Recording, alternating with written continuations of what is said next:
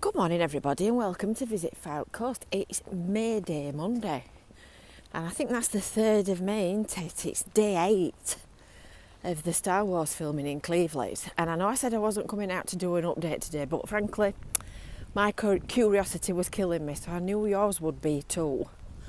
So I thought this morning we would have a little bit of a change of venue, and we've come to the back of Jubilee Gardens car park, so we're going to walk up to the front because I can see a crane.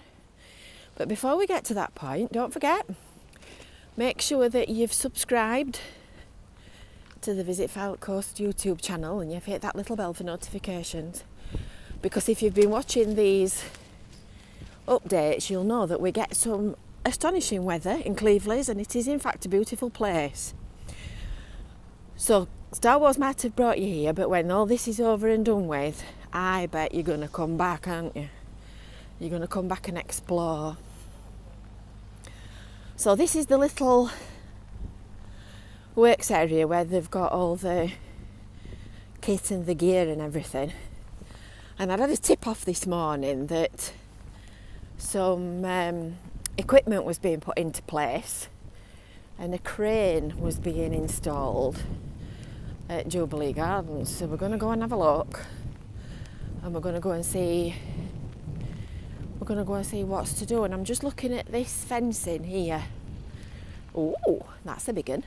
I think we need to. Do you know that were a really good punt, that weren't it? Because I didn't deliberately come this way for any other reason than to just make it look a bit different.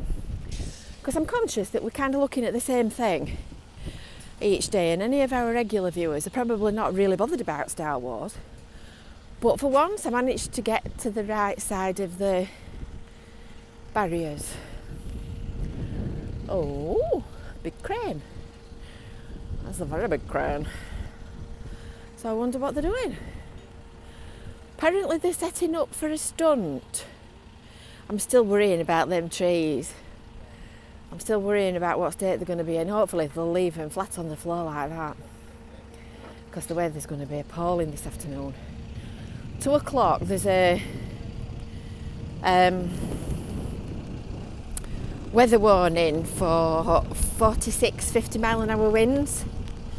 So that's not going to be amusing when they're trying to work in that. If you're familiar with this area you'll know what a 50 mile an hour wind feels like when it's blowing straight off the Irish Sea. And there's absolutely nothing to stop it. I've just noticed them actually as I'm as I'm talking to you, at the back of the security guy, on the lamp posts, they fastened they fastened the trunks of trees to match to match that tree. Morning. Morning. Not quite the same weather today. That's one of the Star Trek fans I was talking to on uh, Saturday. I think it was Saturday. I'm losing track of days completely. This is all blending into one for me. So these railings are new as well on this side of um, on this side of the road, and I'm just I just paused then because the green screen's flopped.